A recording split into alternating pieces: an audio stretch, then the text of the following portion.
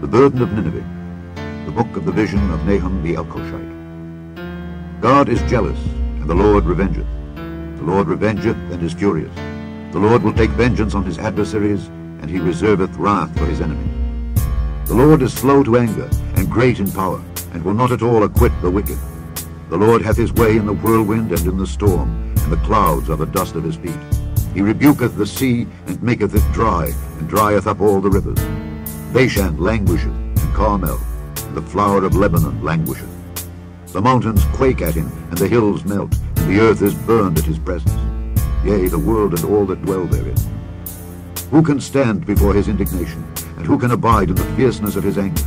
His fury is poured out like fire, and the rocks are thrown down by him. The Lord is good, a stronghold in the day of trouble, and he knoweth them that trust in him. But with an overrunning flood he will make an utter end of the place thereof, and darkness shall pursue his enemies. What do ye imagine against the Lord? He will make an utter end. Affliction shall not rise up the second time. For while they be folden together as thorns, and while they are drunken as drunkards, they shall be devoured as stubble fully dry. There is one come out of thee that imagineth evil against the Lord, a wicked counselor.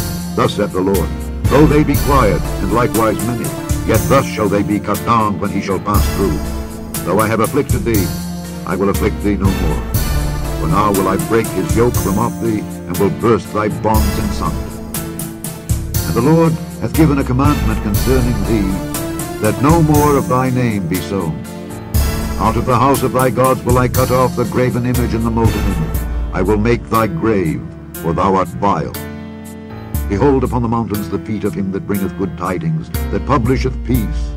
O Judah, keep thy solemn feasts, perform thy vows, for the wicked shall no more pass through thee. He is utterly cut off.